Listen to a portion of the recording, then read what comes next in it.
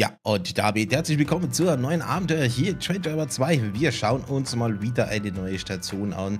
Und zwar ist es Vilgobo vom lieben Chrysakos, oder wer immer mal seinen Namen ausspricht. Ist seit kurzem verfügbar und äh, ich will das mal heute mit euch angucken.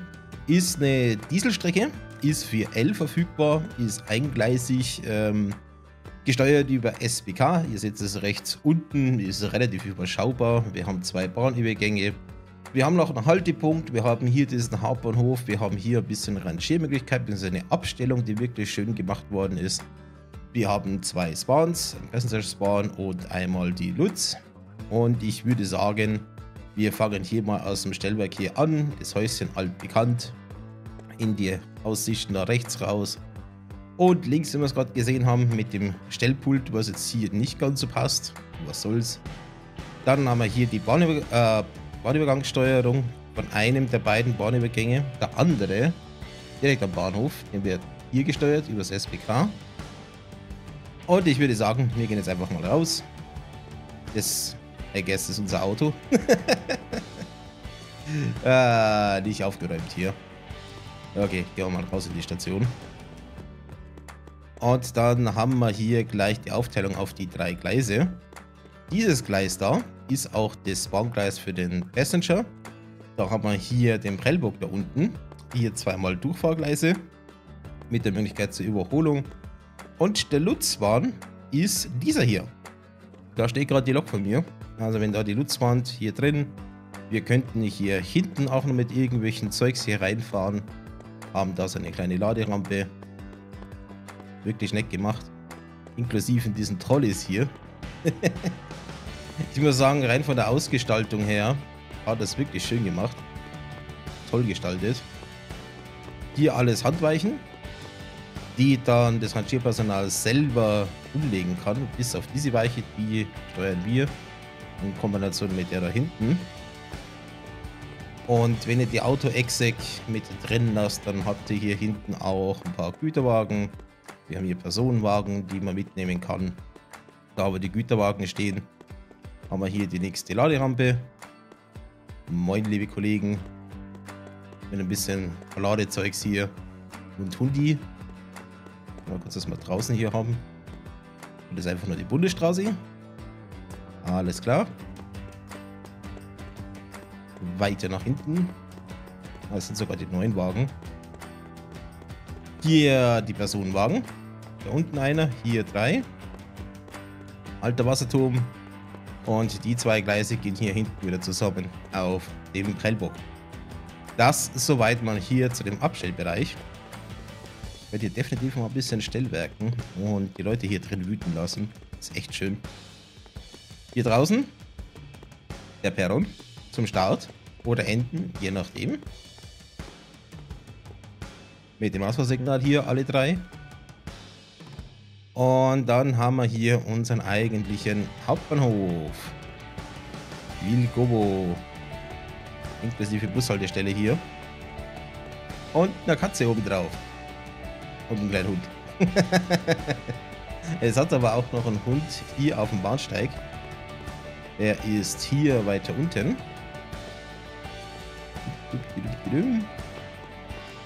War ganz unten. Da haben wir der Übergang auf die andere Seite. Und dann haben wir hier unseren schwarzen Kollegen, dem hier Ziele fehlen. Ey, ja, Details. So genau schaut ja keiner hin. Dieser Bahnübergang hier, das ist der, den wir über SPK hier steuern. Mal schauen, wo habe ich mein SPK? Da. Und den machen wir jetzt hier einmal kurz auf. Geht's hier, geht auf. Funktioniert wunderbar.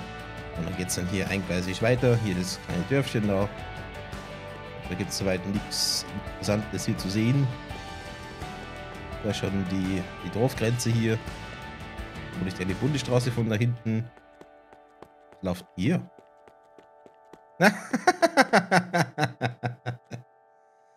Kann man das als Easter Egg gelten lassen? cool. Also kleiner Vorplatz. Barek Us Somsiara. Was auch immer das heißt.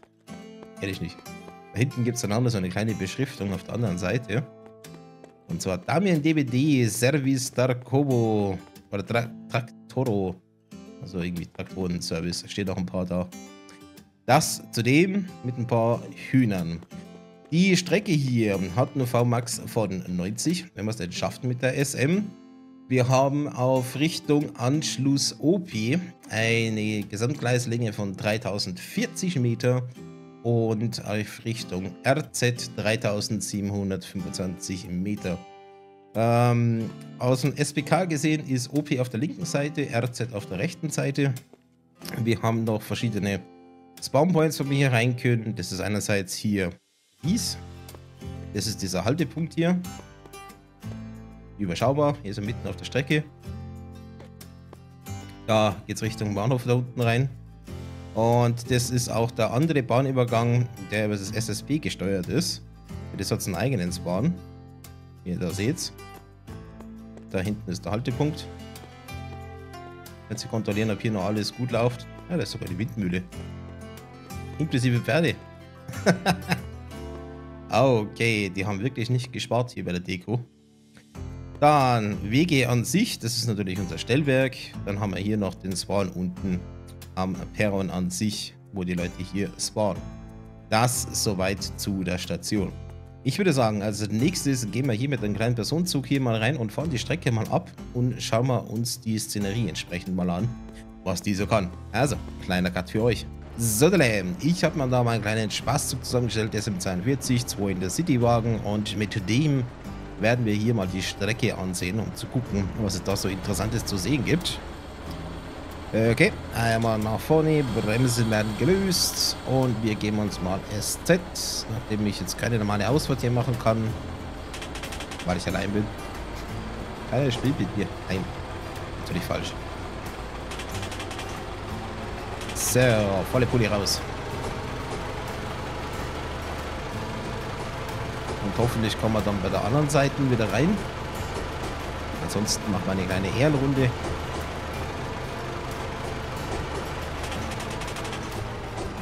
Aber ich muss sagen, dieser kleine Abstellbereich da, der ist wirklich gelungen. Schöne Szenerie.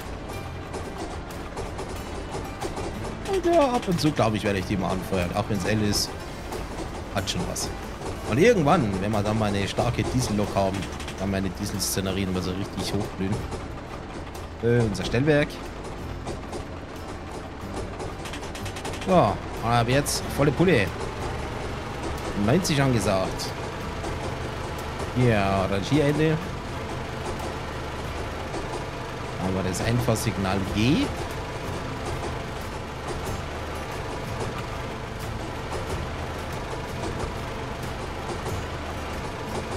vielleicht auf irgendeiner Seite den Surprise haben. Ja, haben wir sogar. Einen Bären. Und ich gerade wieder an Trans-Siberian Railway Simulator denken. An die eine Begegnung da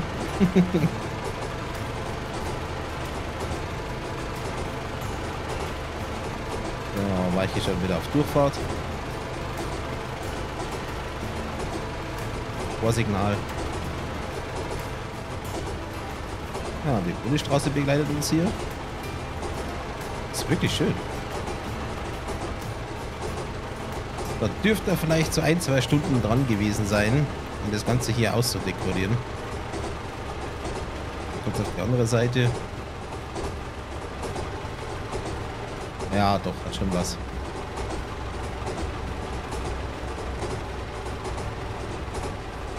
Ja, sogar eine kleine Industrie hier. Es wäre eigentlich noch ganz cool, wenn die Autos fahren könnten. Wäre noch so ein kleines Boost für den Flair. Ja, Bahnhof ist auch zu, perfekt.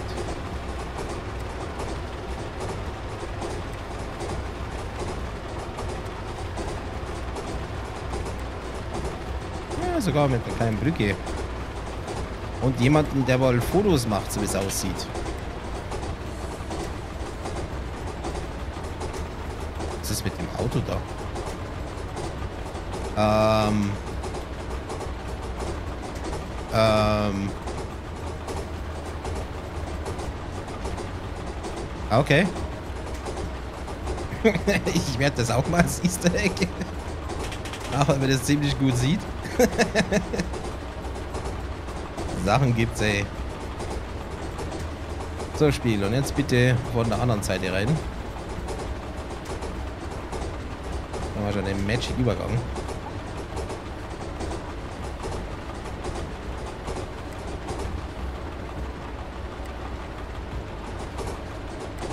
Und da wären wir wieder.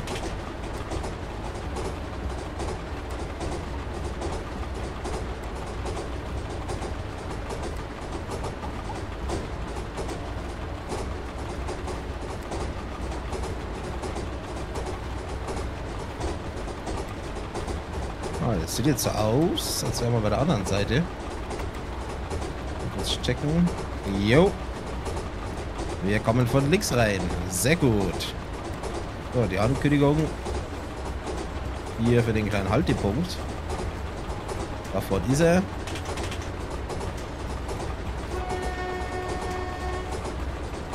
Nice, Bahnübergang funktioniert auch. So muss das.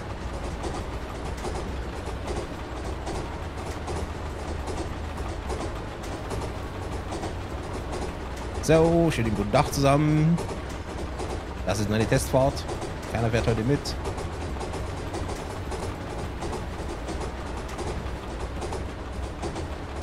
Ja, doch, abwechslungsreich.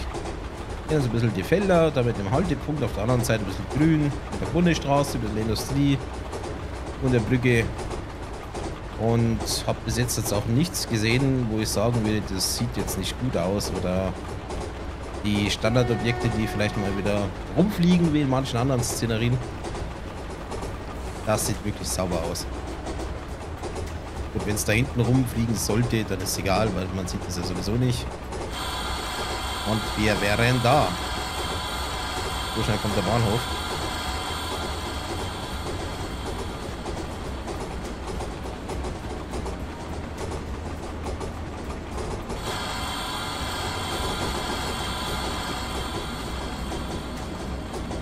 Kam jetzt auch ein bisschen schneller als gedacht.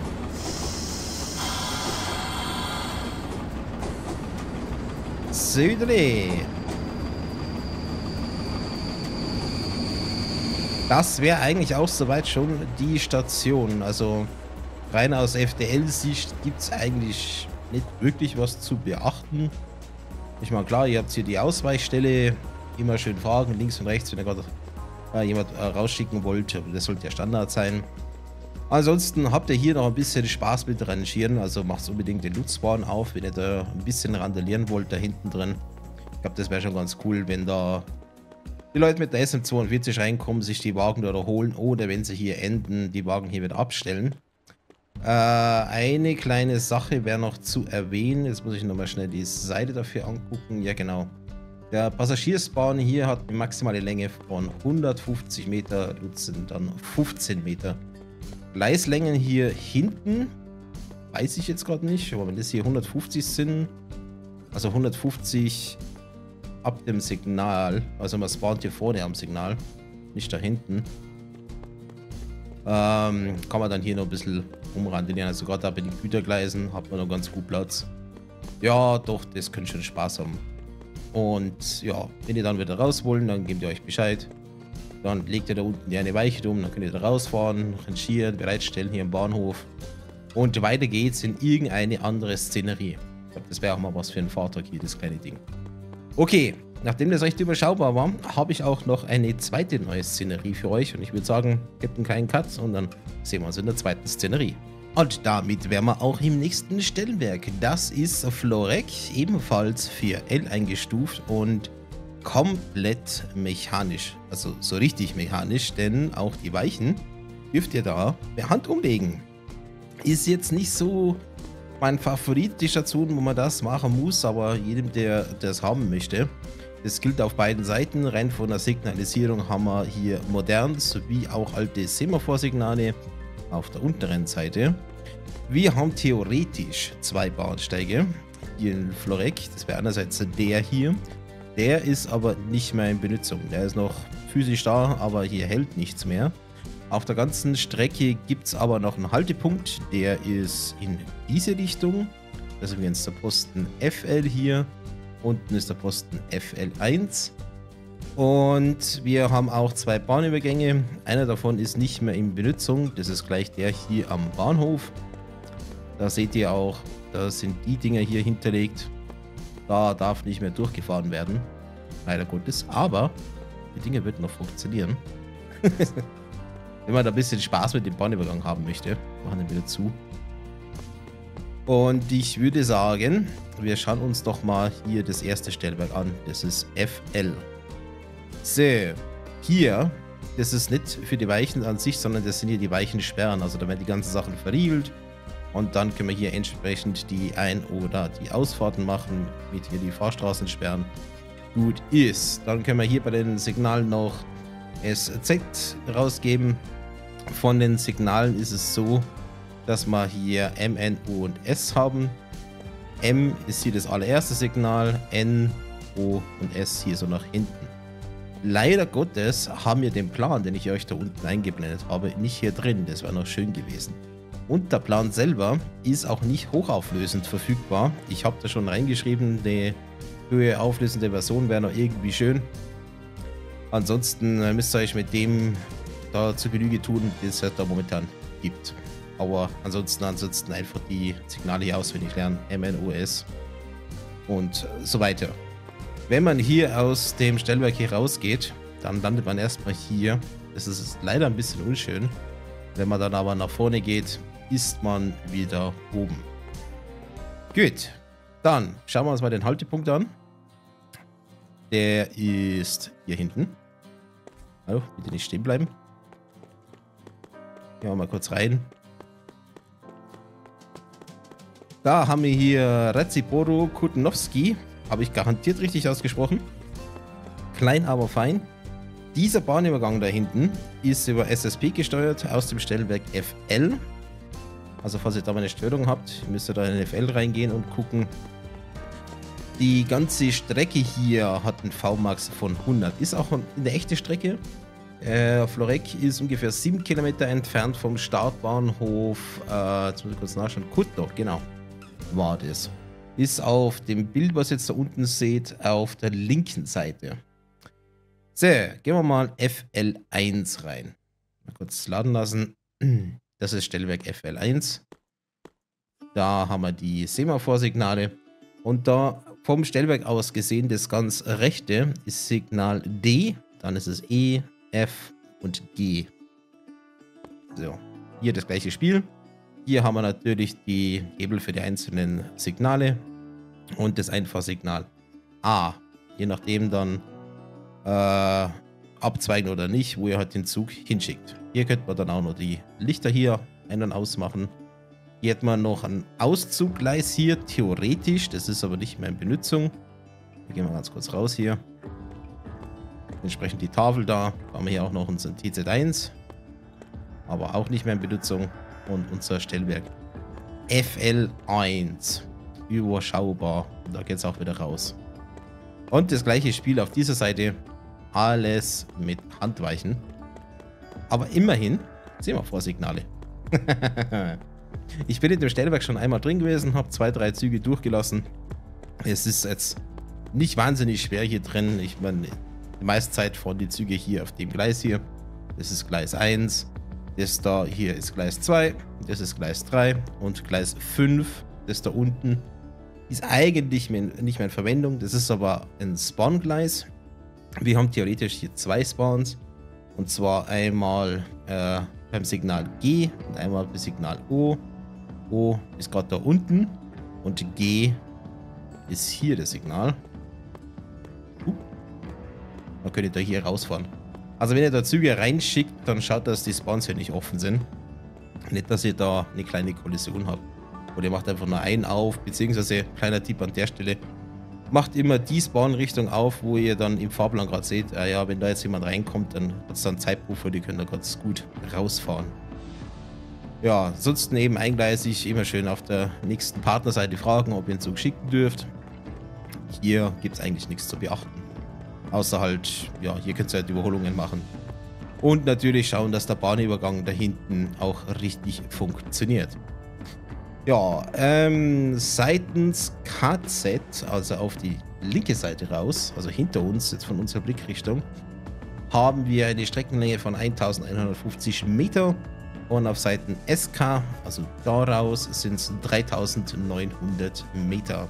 Spawnlänge bei THW 1 sind 580 Meter und bei THW 2 sind es 600 Meter.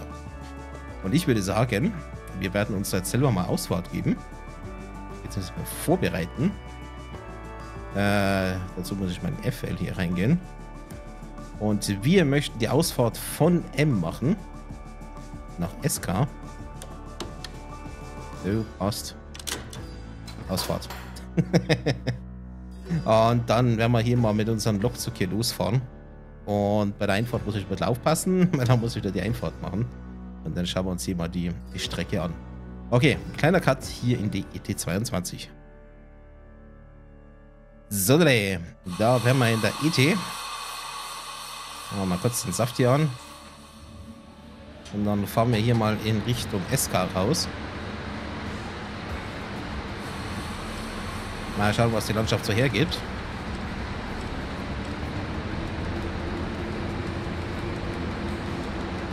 Würde sagen, wir machen mal die Außenansicht. Müssen wir hier unbedingt mal die Scheiben putzen. Und auf den anderen Monitor habe ich gerade die FDL-Ansicht an. Ich hoffe, ich kriege das sauber hinten an. Mit der Einfahrt bitte. Ansonsten sei es zu entschuldigen, wenn ich da über Rot drüber donner.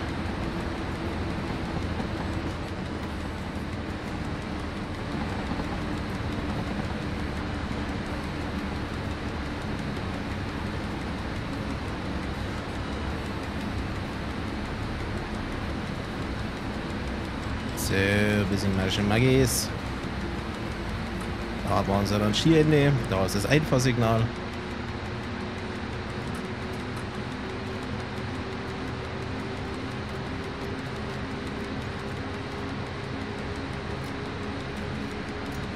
So, der Badeübergang Nummer 1.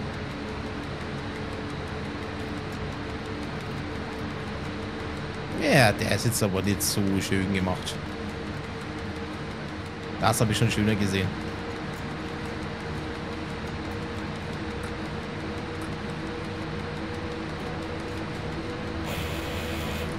Ja, ja, ich weiß.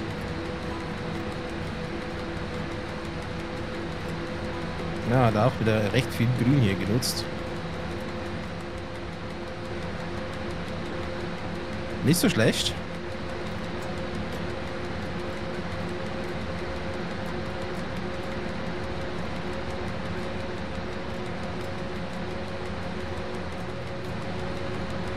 Ich mal kurz nachschauen wegen den Längen. Ja, SK 3900 Meter. Passt schon, das ist die lange Seite.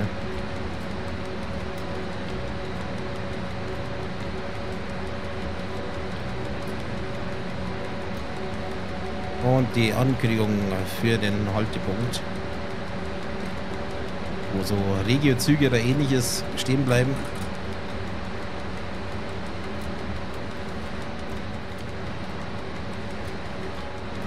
Ja, so sehe ich. Also mit 100 durchrauschen. Sieht noch ein Aldi-Gebäude aus.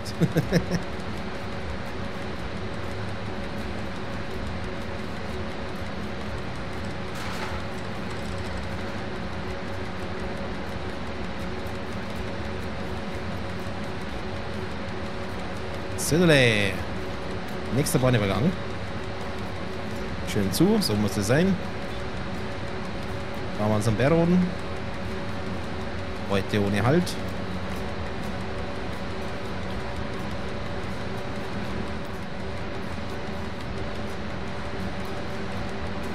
Perfekt.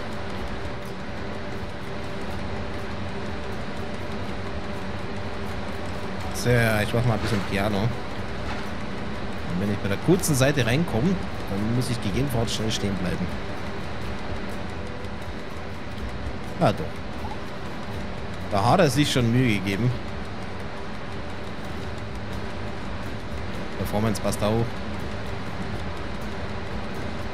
Trotz der ganzen Deko. Ja, gut, da habe ich es gesagt. Und dann fängt es an zu stocken. Ja, wir kommen die kurze Seite rein.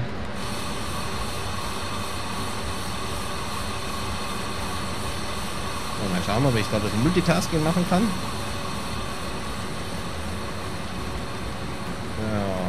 Ja, Einfahrt.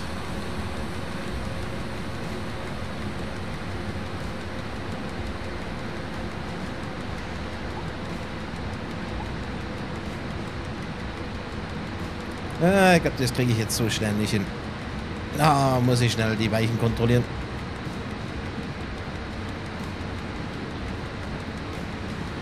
Stimmt doch. Auf den Kohle hier. Rollen.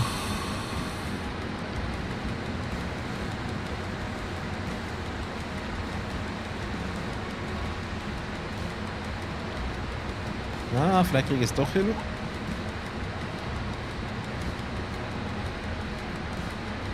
Ach nee.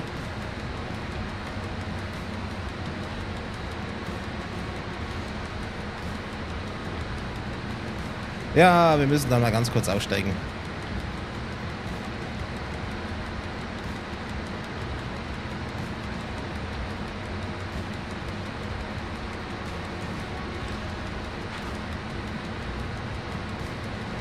Texas Crossing.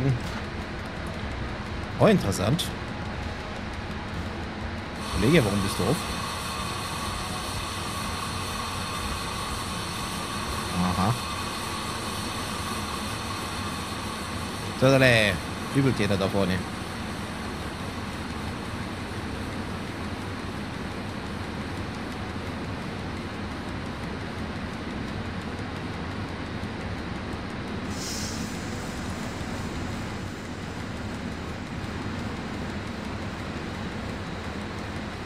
Aber dass der eine Bahnübergang jetzt hier offen ist, das finde ich jetzt interessant. Kommen wir ein bisschen weiter vorne. Da muss ich nicht so weit laufen.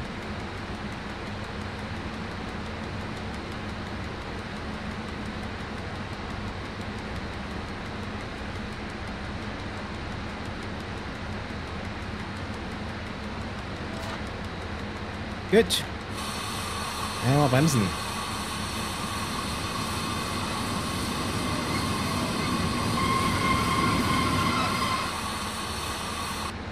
So, wir werden da. Ich würde sagen, wir wechseln mal ganz kurz ja, in die FDL-Ansicht. Das mache ich mal kurz die Lok aus.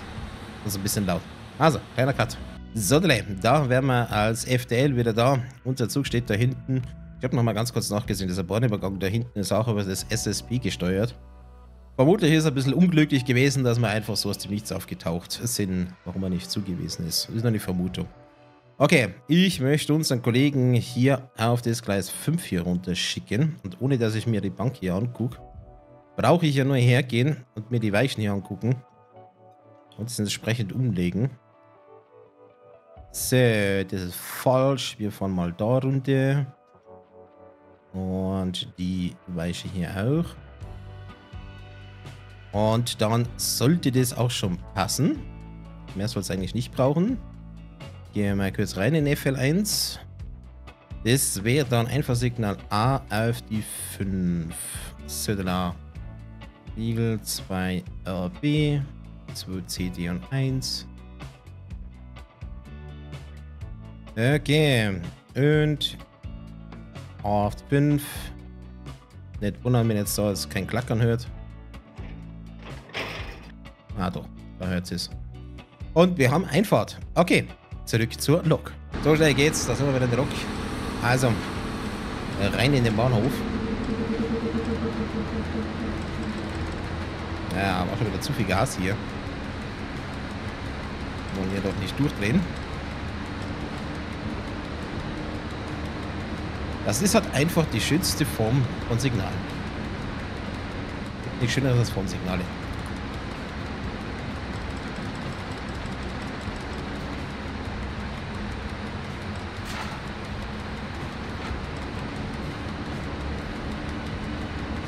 Und einmal mit 40 Starreifen.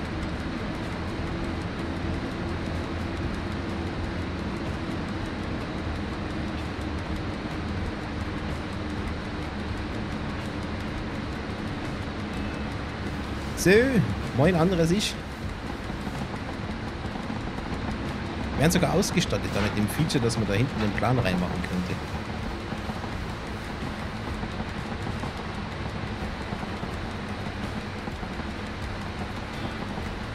Ja, wunderbar.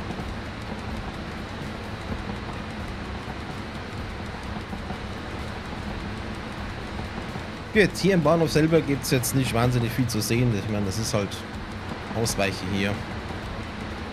Mit halt den ehemaligen Bahnsteig da vorne. Hier die Schotterpiste. Bisschen Holzgedöns. Das war's. Den ersten Bahnhof, den ich euch ja gezeigt habe, den glaube ich kann man ganz gut nebenbei machen. Oder als Anfänger mal üben da drin. Mit SBK. Den Bahnhof nebenbei machen ist ein bisschen schwierig. Oder doch ein bisschen rumlaufen muss, den ganzen äh, Weichen umlegen. Soll-Test. Außer du machst es vielleicht zu zweit, geht ja auch. Sagen, okay, ein Dude, der macht ja die Weichen für dich. Auch wenn derjenige dann ganz schön hin und her laufen muss. Aber möglich ist alles. Ja, ich denke mal, hier wird nicht allzu viel Traffic sein. Ich habe es jetzt in der Session, wo ich mit, mit der unterwegs gewesen bin, nicht sehr viel Traffic gehabt. Da waren es in einer Stunde vielleicht drei, vier Züge. Das war aber auch am Nachmittag. Ansonsten, ja, gefällt es mir. Also, ja, ich hätte gern noch den Plan in High Definition, dass man es auch ein bisschen reinzoomen kann. Plan B ist natürlich den Plan einfach auswendig lernen. Und das ist ein bisschen unschön, dass man hier unten rauskommt, sowie dass der Plan hier drin nicht sichtbar ist. Das sind so meine Kritikpunkte. Ansonsten ist, glaube ich, ganz gut gelungen. Favorit von beiden Stationen ist aber definitiv die erste, die ich euch gezeigt habe. Ich hoffe, das hat euch gefallen. Wenn ihr wollt, probiert es mal aus. Sind öffentlich verfügbar. Und dann würde ich sagen, wünsche ich euch eine gute Fahrt und bis zum nächsten Mal. Ciao. Ja, liebe Leute, das ist leider das Ende von dem Video. Wie immer würde ich mich freuen, wenn ihr natürlich hier unten Kommentare reinschreibt, wie ihr es gefunden habt. Aktuelles zum Spiel findet ihr hier in dieser Playlist. Ansonsten der neueste Upload hier oben und wer möchte, kommt auch auf unseren Discord-Server. Link ist da rechts oben. Gibt auch immer wieder gratis Spiele und da könnt ihr auch mit mir quatschen und natürlich der Community.